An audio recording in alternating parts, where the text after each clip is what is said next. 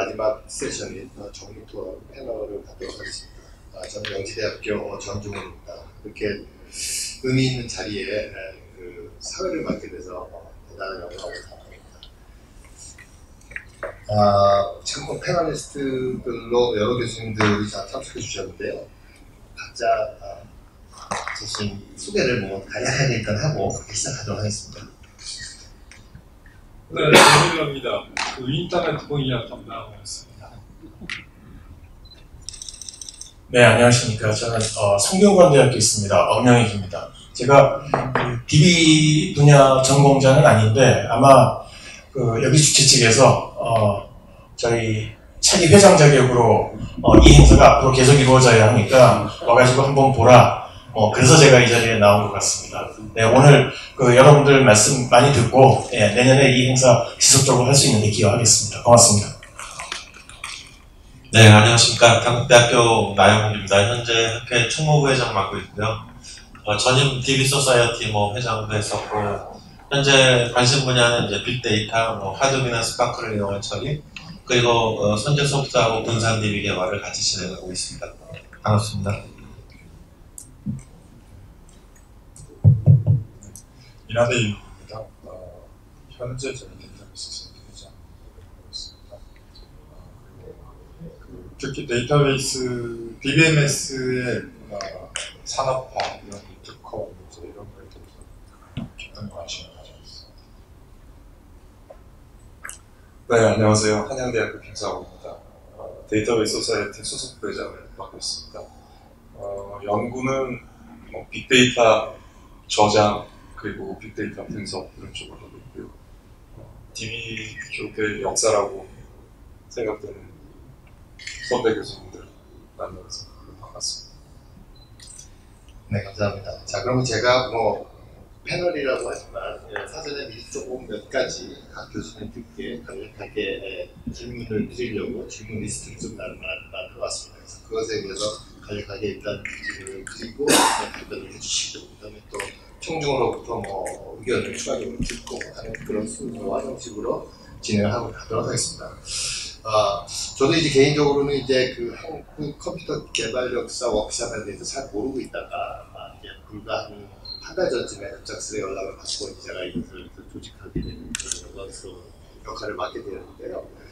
어, 많은 분들이 사실은 잘 모르고 계시는 분들도 좀 있을 것 같아요. 그래서 이 초기에 이 워크샵을 초기서부터 거의 산파 역할을 하신 우리 정규관 교수님 옆에 계시니까 간단하게 소개하고 history 또 우리에 대한 설명을 이미 개회사 때 많이 말씀해 주셨지만 또 추가적으로 좀 말씀 부탁드리겠습니다.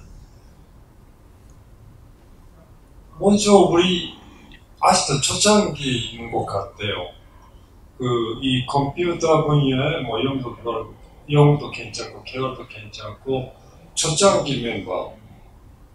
그러니까 우리나라는 운이 케이스 같아요. 아직도 거의 대부분 그 살아계시는 것 같아요.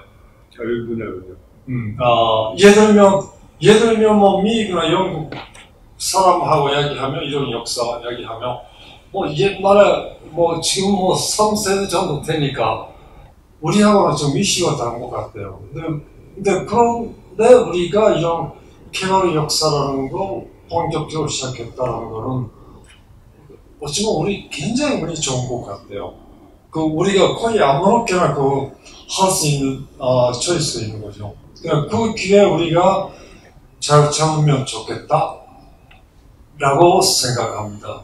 어, 근데 그래도 그 조금 그 옛날의 사람식으로 이야기하면 그 선진국 돼야 되면 자기 나라 역사 제대로 그 알고 있어야 되고 정리되고 있어야 된다. 이런 상식이죠. 근데 우리가 그이 탐사자죠. 이런 정보과학계는 도망갈 수 없는 거죠. 그 이 분이야 혼자서 챙겨야 된다고 얘기하지만 그렇지만 당사자로서 뭐 어떻게 해야 되는 거죠. 그러니까 그런 맥락에서는 우리가 본격적으로 이 분야 근데 데이터베이스가 운이 좋았죠. 그 상대적으로 정리 되고 있고 앞으로 하기 쉬운 분야 같아요. 예를 들면 저는 소프트웨어 인지니어링 하기는 해야 되는데 HCI도 그렇고 뭐가 조금 막연한 것 같아. 그렇게 tangible한 output가 잘 안 나오니까. 그런 맥락에서는 나중에 그 이거 지금 organize 하면서 발표하면서 다른 분야에서는 어떤 식으로 하면 좋은가라고 좀 insight 있으면 아, 이야기해 주시면 좋겠어요. 근데 그러니까 우리 다 같이 그래도 그, 그 우리 얼마 정도 프라이드 갖고 있으니까 이 컴퓨터 분야는 그래도 우리 IT 분야는 그래도 우리가 그 괜찮게 하고 있다라고 그러니까 제대로 그 역사라는 거 제, 제가 제사도 개발 역사 부분은 우리가 제대로 그 챙기자. 근데 제일 마지막에 제가 그전에 계획사로 이야기했는데 정보과학회 정도에서는 이거 challenge 앞으로 그 예를 들면 10년 내, 5년 내에 우리 알아내자. 우리나라의 첫 번째 프로그래머 누굽니까?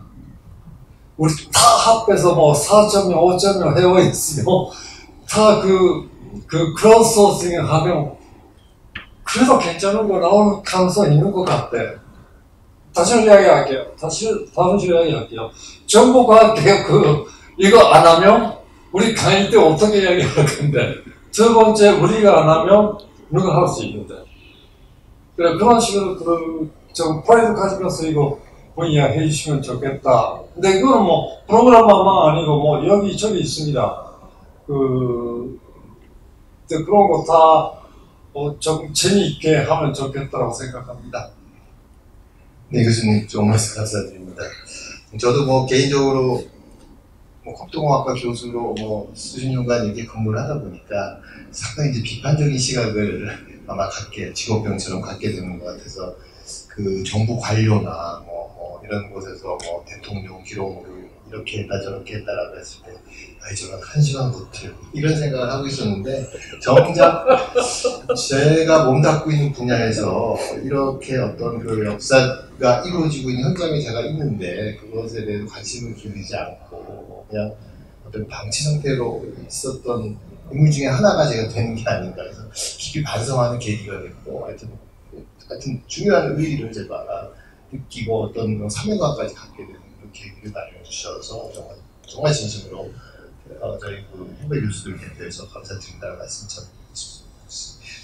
아, 엄영 교수님 아까 말씀하셨는데 이제 저는 이제 그 수업 시간에 이제 강의를 할때제 데이터베이스 수업을 많이 하니까 아까 나 교수님도 말씀하시고 다른 교수님도 많이 말씀하셨지만 이제 해외 미국 말고 실제로 이제 DB 엔진을 만들어서 상용화해서 성공해서 잘 사업에 활용하고 있는 산업화가 된 산업화에서 활용하고 있는 경우가 데이터베이스 엔진이다라고 해서 제가 굉장히 자랑하고 선전을 많이 하거든요. 근데 교수님 이제 다른 분야 전공자이시고 하니까 혹시 그 OS 분야에서도 그런 뭐 사례나 움직임이 있었는지 혹은 뭐 개발 history 측면에서 어떤 어, 의의와 또 뭐 어떤 그 이해가 중요할지에 대해서 좀 말씀 부탁드리겠습니다.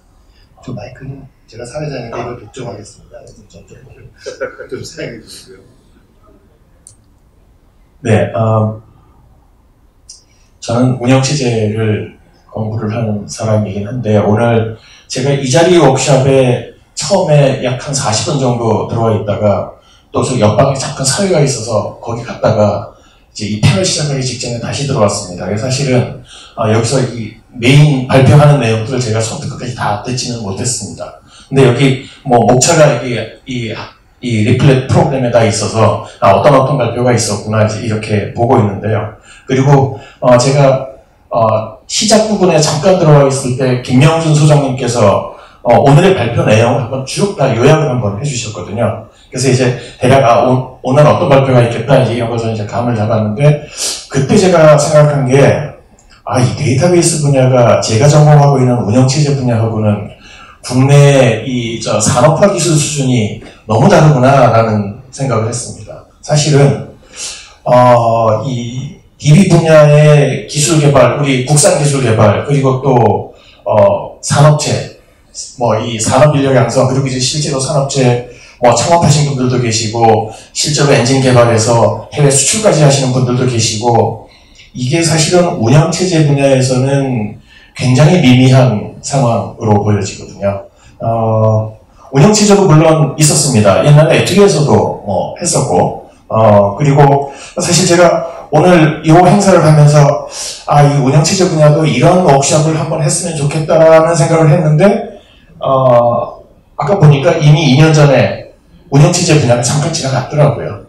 근데 뭐, 그때 있었던 얘기이긴 하지만, 어, 상당히 좀 미미했던 수준으로 보여집니다. 뭐, 예를 들면, 어, 2000년대 초반에 정부 돈으로 거의 한 500억 정도를 투자하면서 그 당시 굉장히 큰 돈이었죠.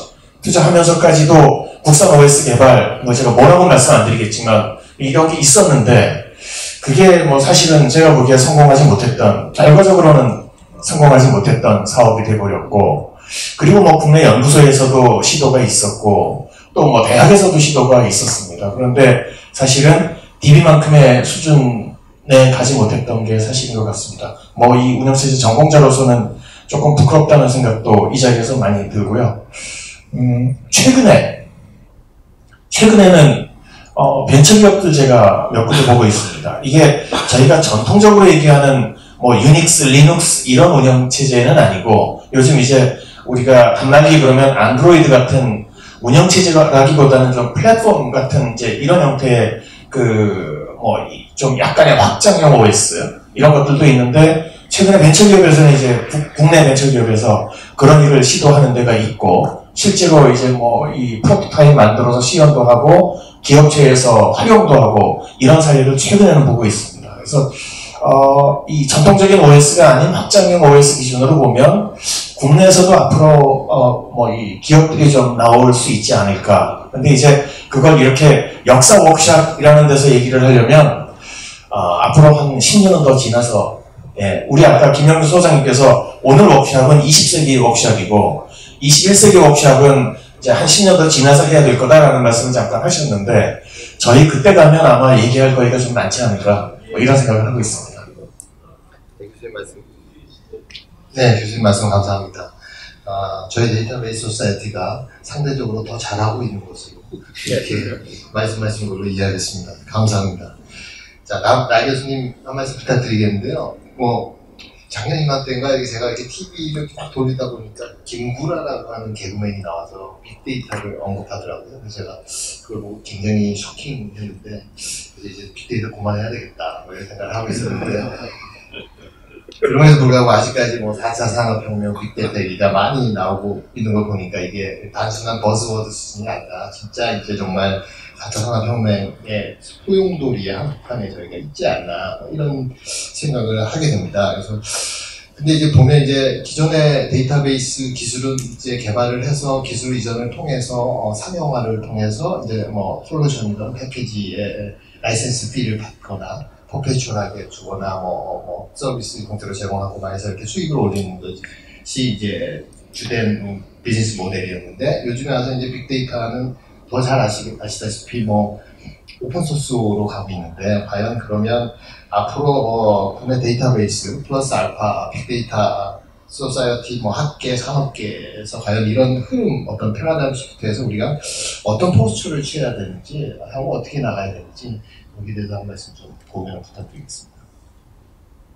네, 뭐죠? 예, 빅데이터라고 얘기하시니까 이제 좀 어려운 주제 같긴 합니다. 근데 아까 그냥 그, 그동안의 이제 역사를 쭉 들으면서 제가 느낀 거 플러스 지금 질문하신 것까지 연결을 해보면 그동안 이제 DB는 저희가 이제 출발을 좀 빨리 했던 것 같고 디스크 DB 기반의 시장에서 저희가 틈새 시장을 잘 공략했던 것 같습니다. 그래서 main memory DB에서는 아마 세계 최초로 이제 기술을 개발했기 때문에 경쟁력이 있었던 것 같고 또 아까 아, 카이로스처럼 이제 그 공간 DB 기능과 뭐 결합한다든지 황규영 교수님처럼 IR 엔진 기능을 결합한다든지 또는 이제 객체 지향, 객체 관계 기능을 어, 어, 사용하는 측면에서 저희가 많이 앞서갔던 것 같고 상업적으로는 아마 이제 main memory DB에서는 세계적인 성공을 했던 것 같고 최근에 차상균 교수님 피타임이 이제 SAP 하나로 들어가는 것도 메인 메모리 어떤 기술력의 성과가 아니었나 이제 그런 생각을 하고 있습니다.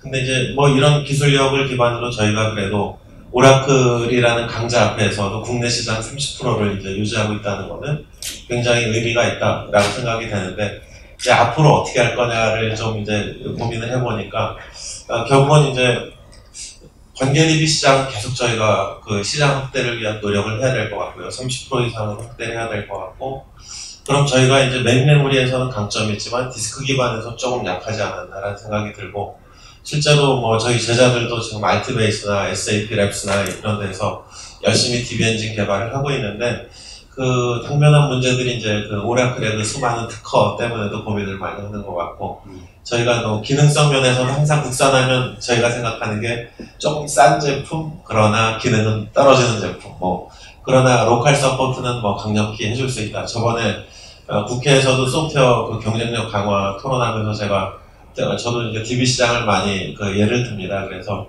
소프트웨어 시장에서도 가장 강점을 갖고 있는 시장이지만 국산 제품의 한계가 이렇다. 그래서 그런 부분에서 조금 더 이제 그 보완을 해야겠다라는 얘기를 한- 항상 하고 있고요. 아, 그리고 또 하나 트렌드가 이제 하여튼 그 빅데이터로 가고 있고, 거기서는 현재 뭐 그 Bigtable이나 그 하드웨어 H베이스나 이제 이런 open source를 많이 쓰고 있는데, 어, 그런 시장에서 오라클은 지금 또 다시 그 RAC니 뭐해서 이제 병렬 DB 예, 또는 이제 분산 DB 개발을 하고 있다고 합니다. 얼마 전에 이제 오라클 엔지니어하고도 확인을 해봤는데, 예, 그렇다면 저희도 이제 그 분산화하는 그런 노력을 좀 해야 될 것 같고 오픈 소스가 아닌 그런 것도 이제 개발이 많이 되는 것 같아서 그래서 저희는 이제 그, 그 알티베이스 김기현 사장님이 차리신 선제 소프트 썬DB하고 우연히 또 같이 이제 코업을 하게 돼서 저희는 썬DB에서 만든 분산DB의 그 TPCC하고 TPCH 성능 평가하는 작업을 도와드리고 있는데 그래서 이런 제품들이 조금 더 이제 발빠르게 앞질러 나가면 아마 빅데이터 관련해서는 지금 오라클은 아마 제가 볼 때는 뭐 이제 테라급에서는 잘 사용되는 제품이지만 펜타나 엑사급으로는 어려운 거로 알고 있고 아, 그렇다고 이제 뭐 빅테이블이나 H베이스 같은 오픈 소스만 사용하는 것도 이제 나름 또 한계가 있다고 보고요. 그런 거는 또 구글이나 페이스북 같은 그 시스템 프로그래밍 기능이 강력한 프로그래머가 뭐 수천 명 있는 회사는 충분히 그 경쟁력이 있지만 그렇지 않은 회사들은 또 활용하기 어려운 점이 있어서 이런 그 빅데이터에 targeting된 그런 뭐 빅데이터 appliance라고 할까요? 그런 거를 좀, 어, 그 현재 기능에서 약간 확대해서 만들면 경쟁력이 있겠다. 이제 그런 생각이 좀 들고요. 아, 그리고 좀 전에 이제 저도 이제 뭐 하여튼 정부 R&D 관리하는 그, 어, 차세대 컴퓨팅 PD를 하면서 아까 뭐 WBS나 GCS나 이런 어, 과제 도출하는 것도 조금 이제 관여를 했었는데 그런 생각이 들었습니다. 지금 정부가 이제 이전 2년 전에 클라우드 발전법을 만들었고 이제 국산 클라우드 활성화를 위해서 정말 돈도 많이 쓰고 노력도 많이 하고 있는데 시장이 확대가 안 되고 있습니다. 그래서 어, 뭐가 문제인가를 생각해 보다 보니까 클라우드 쪽에 저희 기술력이 없는 거예요. 그래서 어, 지금 뭐 OpenStack이라는 open source만 있고 어, 정작 또 쓸만한 그런 이제 어, 쉽게 얘기하면 그렇습니다. 이제 아마존은 모든 그 어, 컴퓨팅 facility를 다 그 안에 가구까지 갖추어서 이렇게 이제 저기 클라우드로 저 판매를 하고 있다면 KT ucloud 같은 거는 지금 뭐 빈집만 주고 있다는 거죠. 그래서 정부에서 계속 이제 클라우드 국산 클라우드 써라 써라 그러는데 정작 입주해 보면 이제 쓸 아무런 facility가 없으니까 아, 지금 힘든 상황이다 이제 그런 얘기를 해서 제가 이제 오늘 들으면서 연결을 해보니까 저희가 지금 DB에서 갖춘 그 DBMS 엔진 개발에서 갖춘 20년의 내공을 그 클라우드 개발에 좀 적용하면 이게 급속도로 국산 클라우드 기술이 발전하지 않을까 이런 생각이 아까 들었습니다. 그래서 어, 뭐 자체적인 국산 DB 엔진 시장을 확대하는 노력도 계속 해주셔야 되겠지만 지금 클라우드 시장이 완전히 저희가 지금 허공이거든요. 완전히 비어 있어서 여기에 저희가 가진 내공을 조금 저, 적용해 주시면 시스템 프로그래밍 그, 그 난이도로 봤을 때는 뭐 대동소이하다고 봅니다. 그래서 그쪽을 좀 많이 도와주시면 새로운 시장이 좀 창출되지 않을까 이런 생각 해봤습니다. 감사합니다. 네, 고 좋은 말씀 감사합니다. 지금 말씀 듣고 보니까 정말 사실 빅데이터하고 클라우드는 어떻게 뗄래야 뗄 수 없을 정도로 거의 가까운 어떤 위치에 릴레이션십이 있는 것 같은데 저희가 좀 관심을 가지고 어, 좀 들여다봐야 되는 분야가 아닌가 하는 생각이 좀 들고요. 특히 또뭐 빅데이터 appliance 같은 것들 말씀해 주셨는데 너무 당연히 일반 기업에서 기술력이 그렇게 축적되지 않은 상태에서 open source를 가져다가 어떤 빅데이터 인프라를 구성해서 뭐 분석을 뭐 상시적으로 할 수 있는 시스템을 갖춘다는 게 실질적으로 어 많이 음, 힘든 그런 상황으로 파악이 되고 있는데 교수님 좋은 또 방향을 제시해 주셨으니까 아마 또 이게 기록으로 남아서 또, 또 우리 젊은 교수님들이 또 연구할 수 있는 어떤 계기가 마련되지 않을까 기대를 가져봅니다. 다음으로 이우기 교수님은 또 어, 산업공학을 원래 또 전공을 하신 걸로 제가 알고 있고 해서 그래서 그 산업공학적인 측면에서 뭐 향후 많이 곽광을 받을 만한 분야가 만약에 있다라고 하면 그게 어떤 도메인인지 뭐또 만약에 그렇다라고 하면 또 어떤 이유에서 그렇게 생각하시는지에 대해서 좀 말씀해 주시고요. 또 현재 또 사실 데이터베이스 society 회장을 맡고 계시니까 또 관련해서 또 하실 말씀 있으시면 좀 한 말씀 부탁드리겠습니다. 각광을 받는 만한 디베이스. 아, 이제 저는 산업공학에서 데이터베이스 박사학위를 하면서 어, 데이터베이스 매력에 빠져들었죠. 어, 너무너무 참 중요하다 이렇게 얘기를 하는데 정작 오랫동안 어, 데이터베이스를 전공하셨던 분들은 아뭐 더 이상 할 게 없고 봐볼 게 없고 뭐 이렇게, 이렇게 말씀들을 하시는 거예요. 그러니까 몰라본 거죠. 어, 일단 이제 이런 역사 워크숍에 대해서 저는 찬반의 의견을 가지고 있습니다. 어, 찬성이라는 부분은 이런 게 있죠. 어떤 연구 주제들이 리비지트를 됩니다. 학생들에서 옛날에 했던 거를 포장만 조금 바꿔서 또 써먹고 또 이름을 바꿔서 또 하고 이런 경우가 많이 있습니다. 그래서 나이 드신 어, 연구자분들하고 이렇게 인생 이야기를 오래 하다 보니까 아 이게 좀 도는구나 그런 거에서 우리가 많이 느끼는 게 이제 AI 같은 데도 이제 히스토리가 있잖아요. 어, 그래서 어, 진짜 AI를 하는 사람들은 어, 10년 사이클을 돈다 이렇게 말을 해요. 지금 학생들은 어, 이제 그 AI가 막 대세인 것처럼 보이는데 항상 보이기만 하고 또 한계가 있고 어, 그런 면에서 이제 이렇게 오래된 분들이 역사라는 이야기들을 참 어, 지혜를 저희가 배울 수 있기 때문에 좋은 시도라고 생각이 듭니다. 근데 또 한편으로는 어, 이제 뭐 기록물이나 역사 이런 것들을 노인들이 좋아하세요. 그러니까 옛날 이야기죠. 이게 역사에 남아있다 이건 사실 젊은 친구들은 별로 관심 없, 없어 할수 있어요. 뭐. 그런 관점에서는 명확한 insight 이런 거를 제가 DBMS에 대해서 좀 말씀해 드리는 필요가 있다. 어, 이제 저는 뭐 백그라운드가 산업공학 출신이기 때문에 어, 뼛속까지 산업공학 관점으로 훈련을 받았습니다. 어떤 관점이냐면 비즈니스 모델에 대해서 눈을 가지고 있어요. 간단히 얘기하면 그건 돈이 되는 겁니다.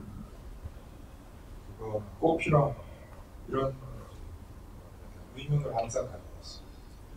어, 이제 비즈니스 모델은 어, 쉽게 물어보는 질문이 두 가지가 있습니다. 하나는 어, 마이신이냐, 비타민이냐.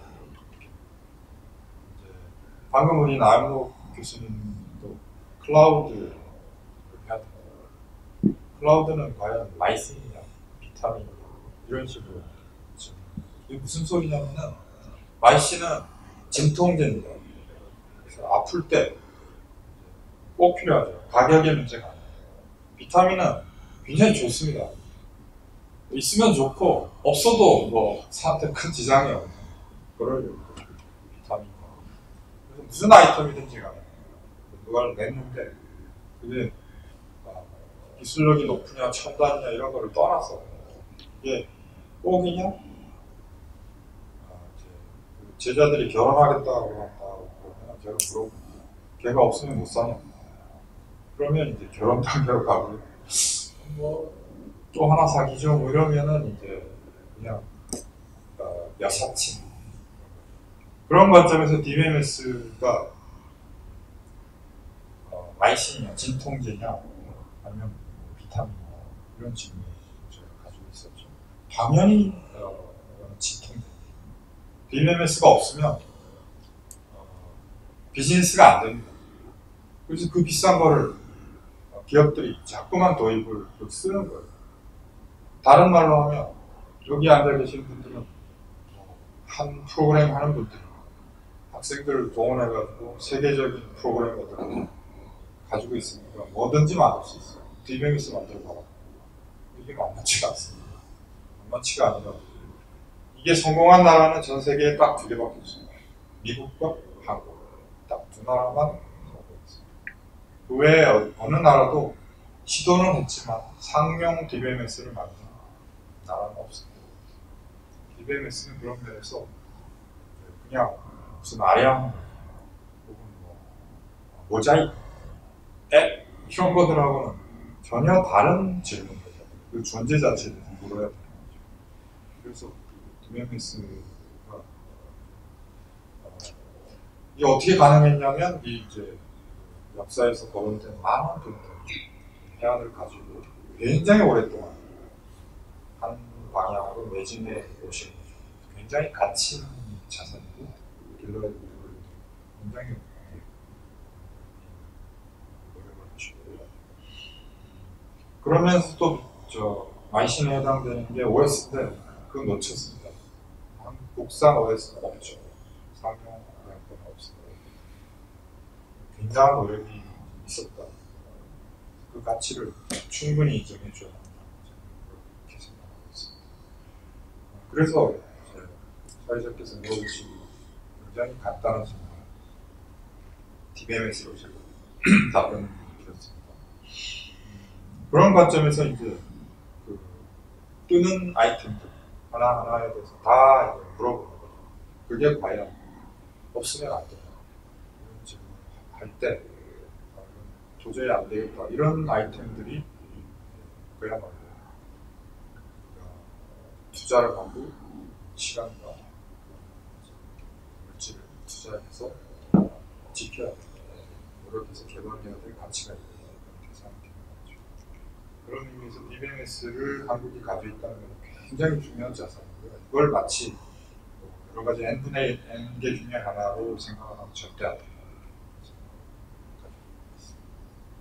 뭐 그걸 많이 뭐 같이 시험해서 저는 그거는 그런 일이 아니라고 그럼 뭐 일본에도 좀 주고 중국도 주고 이런 일은 아, 해서는 절대 안 돼요. 어, 그 세부적으로 뭐 어떤 기능 때문에 그러냐 이런 거는 차차 고급 수업에서 여러분들이 배우시면 돼요.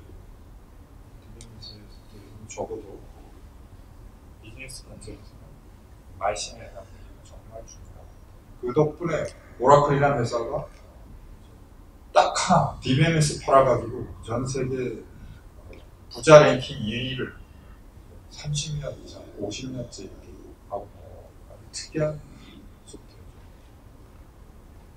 그래서 DBMS가 너무 중요하다는 말씀. 미래도 그렇죠.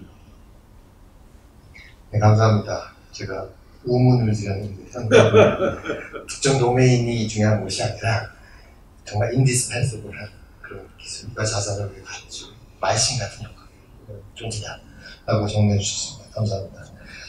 자, 김상욱 교수님 뭐 아직도 활발하게 당연히 학생들을 가르치고 하는 그런 역할을 하고 계신데 교수, 즉 교육자의 입장에서 그 현재 지금 대학의 그 데이터베이스 관련된 교과목이나 커리큘럼 또 사실 이제 또 뭐 아까 잠깐 말씀드렸지만 또 빅데이터 뭐 이렇게 많이 지금 언급이 되고 있는데 지금 과연 커리큘럼이나 이런 교육 방법이 적절한 건지 아니면 이게 좀 앞으로 좀 변해야 되는 건지 뭐 그런 관점에서 혹시 좀 코멘트를 좀 부탁드리겠습니다.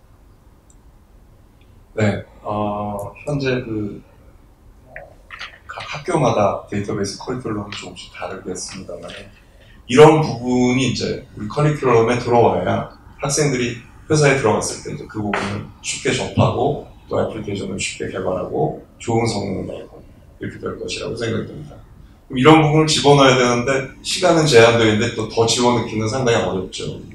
그러면 이제 결과적으로는 그 인터널에 해당되는 부분은 개념적으로 좀 요약해서 하고 그 실질적으로 도움되는 그런 부분들을 좀 더 강화해서 학생들이 개발 능력 좀 뛰어나게 하고 비즈니스를 새로운 비즈니스 만들어서 벤처를 만들고자 할 때도 거기에서도 이제 데이터베이스가 훨씬 계속 중요하니까 그런 부분을 충분히 접하고 나갈 수 있게 하면 좀 더 실용적인 교육이 되지 않나 그렇게 생각합니다. 교수님 말씀 감사합니다. 그 수업 교과목을 늘리거나 뭐 이러는 것이 아니라 그냥 있는 교과목에서 다른 부분을 좀 축소하고 빅데이터나 NoSQL 부분을 좀 더 다양화해서 이런 것을 말씀해 주신 거죠. 이제 그런 것들이 그 어떤 그 데이터베이스 정보과학 계제 데이터베이스 차기 회장님이시니까 또그 society 내에서 만약에 논의를 해서 이 정도로 하는 것이 좋겠다. 라고 해서 뭐 거기 society에 참여하는 교수님들 위주로 각 학교에 의견을 개진한다든지 뭐 이런 이런 활동 같은 거에 대해서 어떻게 생각하시는지. 어, 그 데이터베이스 교육에 대한 그 대학에서의 consensus는 상당히 중요하다고 생각이 들고요. 그러니까 기존, 기존에는 이제 커리큘럼들을 그냥 다른 쪽에서는 어떻게 하나 이렇게 개인적으로 참조해서 그렇게 했었는데, 어, 되게 좋은 지적을 주신 것 같아요. 그래서 그 부분에 대해서 한번 그 차년도에는 어, 대학에서의 데이터베이스 교육 어떻게 가야 되는가 이런 주제로 한번 담론도 하고 거기서 consensus가 이루어지면 각 대학이 공유하도록 함으로써 좀 더 나은 교육이 되도록 노력해 보도록 하겠습니다. 물론 그 과정에서 이제 산업체에서 어떤 것이 필요한가 하는 부분에 대해서 충분히 논의가 필요할 것 같은데 그 부분 노력하도록 하겠습니다. 감사합니다. 자 이제 뭐 다 돌아가면서 한 말씀씩 다 들었고요. 이 청중에도 뭐 우리 황경 교수님 계시고 뭐 김영규 소장님도 계시고 하니까 또 뭔가 또 추가적인 코멘트나 뭐 의견을 전달하시는 기회를 좀 드려야 겠습니다. 혹시 예, 오늘 뭐 좋은 말씀들 많이 해주시고 또 기회를 만들어 주신 정길남 회장님께 감사드리고요. 어, DBMS가 필요하냐 하는 말을 그 단어 그대로 해석하는 것보다 우리가 좀 넓혀서 지금은 생각해야 된다고 생각이 됩니다. 그래서 아까 그 여러분들이 말씀하신 것과 같이 클라우드 기술이 필요하고 또 플랫폼이 그 각종 다양한 플랫폼들이 필요하고 거기에 중심이 되는 게 뭐냐면 시스템 프로그래밍 기술입니다. 그래서 사실 중요한 거는 이 시스템 프로그램을 잘 할 수 있는 소프트웨어 아키텍트들을 많이 길러내는 게 굉장히 중요하다. 그래서 우리 그 DBMS 여기 회사도 여러 계시고 뭐또 연구들도 많이 하시고 김영준 박사도 계시고 어, 그 우리들의 노력의 제일 큰 결실은 사실은 DBMS 어, 프로덕트가 하나 있냐 하는 게 중요한 것이 아니라 그걸 통해 가지고 그거를 개발할 수 있는 인력을 저변을 많이 만들어 놨다는 게 큰 공헌이라고 저는 생각이 됩니다. 그래서 앞으로는 어떤 DBMS 하나만 가지고 무슨 장난을 많이 하는 게 잘 안 될 거거든요. 그래서 예를 들어 아마존 같은 거 하려고 그러면 거기 storage 시스템이 필요한데 DBMS 가지고 되는 게 아니거든요. 그러니까 이건 DBMS를 만들 수 있는 능력을 가진 사람이 가서 새로운 플랫폼을 만들어야 되는 겁니다. 구글도 마찬가지고.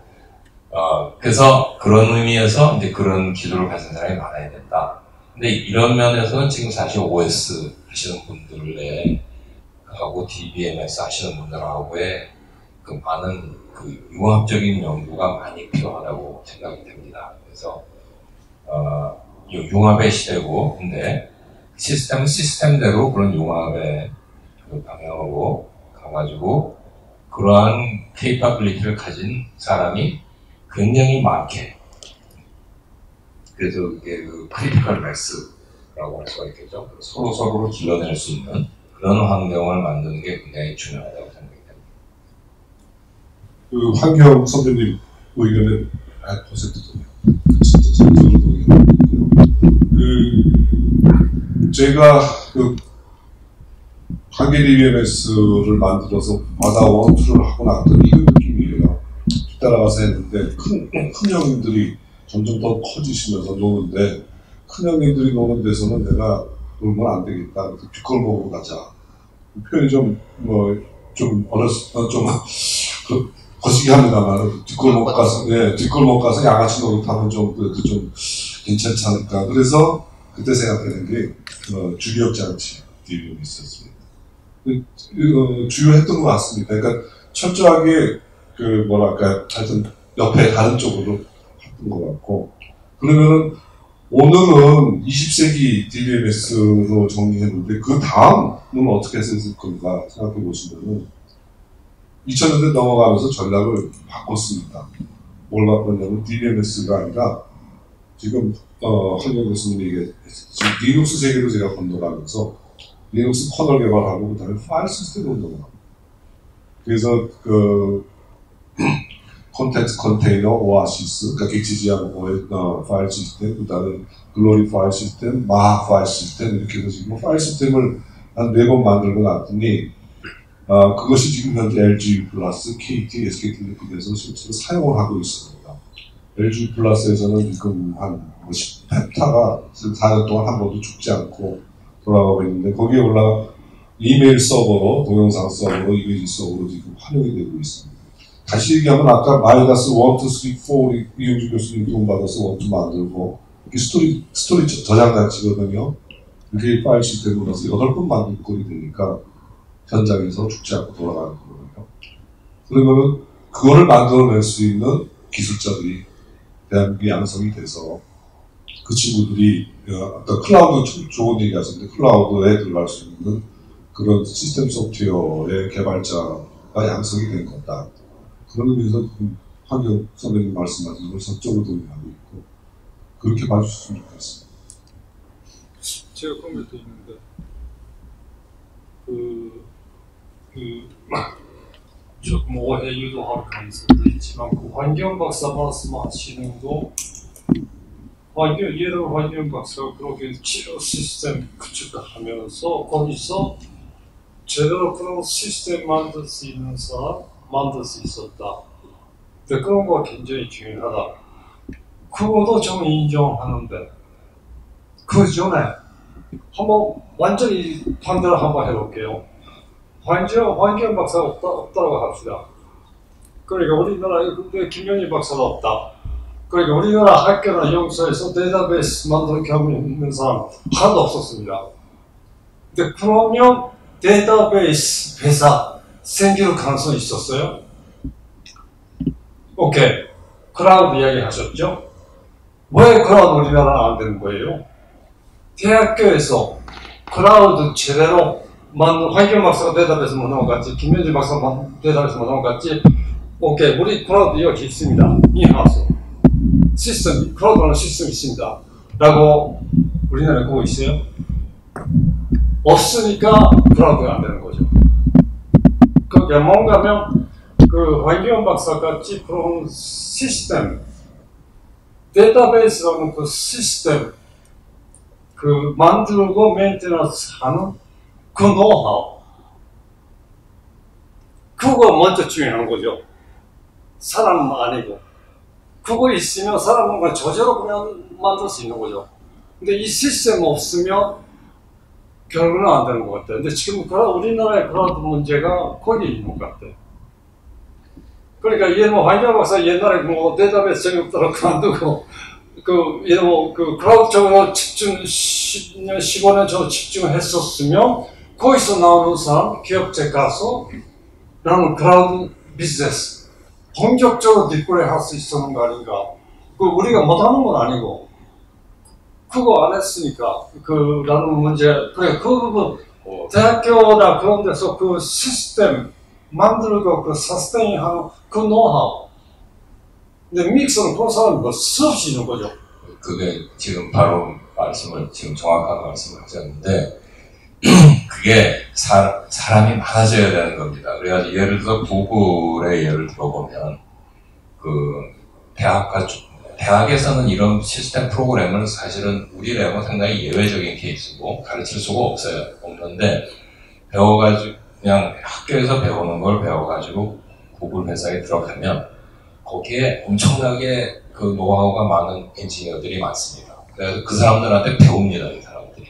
그래가지고 이 사람이 또 시스템 프로그래머가 되고, 그래서 거기서는 소프트웨어 하나를 release 하려고 해도 어느 수준 그 급이 다 있답니다. 그 수준 이상의 reviewer가 세 사람 이상이 읽어보고 도장을 찍어야만 그 프로그램이 나갈 수가 있어요.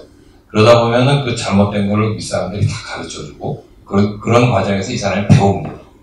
그래서 서- 그 스스로 그거를 어, 자기네 그 새로운 시스템 프로그래머들을 가르치고 양성할 수 있는 그런 그 코가 구성이 돼 있는데 우리나라는 사람의 수가 모자라다 보니까 그게 안 돼요. 그게 필요한 거는 굉장히 우수한 프로그래머가 많아야 되는데 우수한 프로그래머를 한꺼번에 뭐 수백 명, 수천 명을 키울 수가 없는 거예요. 어, 그래서 지금 우리 같은 이런 노력을 통해 가지고 어, 이 시스템 프로그래머들이 양성이 되고 그 사람들이 모여가지고 또그 잘할 수 있는 환경을 만들어서 그 회사에서 그런 사람들을 많이 하여하고 해가지고 그 사람들이 또 후대를 양성하게 하는 이런 사이클을 만드는 게 굉장히 중요- 중요하다고 생각이 됩니다. 예, 아까 플랫폼 얘기가 있는데요. 음, 제 생각도 좀 비슷한데, 저희가 그 안드로이드 같은 거 한번 생각해 보면요. 안드로이드에도 데이터베이, 안드로이드 플랫폼이라고 부른다 그러면 거기도, 어, 저희가 얘기하는 그 데이터베이스가 있지 않습니까? OS만 있는 게 아니고, 또 기타가 있잖아요. 근데 그런 경쟁력을 가지려면 아까 그런 얘기가 나와서 그 OS, 데이터베이스, 이런 것들이 좀 결합이 되는 것 같고요. 그런 것들이 예를 들어서 국방, 국방의 단말들에 들어간다. 그, 그 안드로이드 채택이 안 되거든요. 그 국방의 단말에 뭔가 들어가야 되는데 그 국방 단말이 예산이 어마어마합니다. 낭비가. 단말 한 대가 뭐 천만, 이천만 원이에요. 몇만 단위.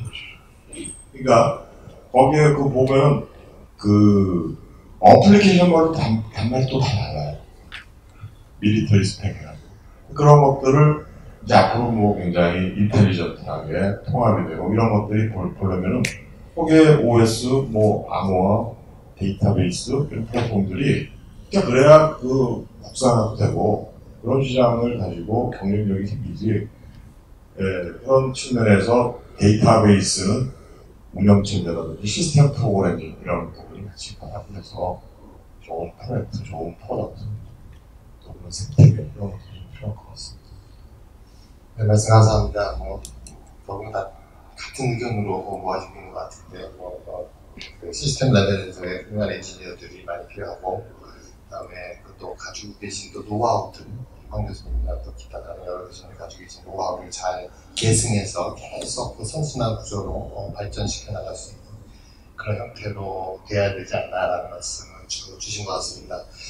그런 맥락에서 저희가 이제 이런 어, history 워크숍을 하고 있고 또 실제로 이제 computer history.kr이라고 하는 사이트를 운영하고 있는데 소장님 그 소프트웨어 뭐 노하우 뭐 소프트웨어 이런 것들이 다 이제 편중을 하지 않은 그런 이제 이슈가 있는데 저희가 이제 박물관이라고 하면 이제 어렸을 때 부모님 손잡고 가서 봤던 박물관 자동차 박물관은 자동차가 있고 뭐가 있고 한데 그럼 저희는 어, 물론 이제 DB에만의 이슈는 아니지만 저희는 과연 이걸 앞으로 어떻게 박물관 어떻게 해야 되는 건가요?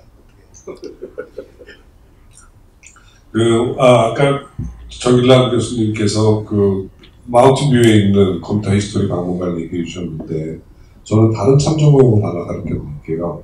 저는 제 머릿속에 있는 거기까지 가고 싶은데요. 그게 IPSJ입니다.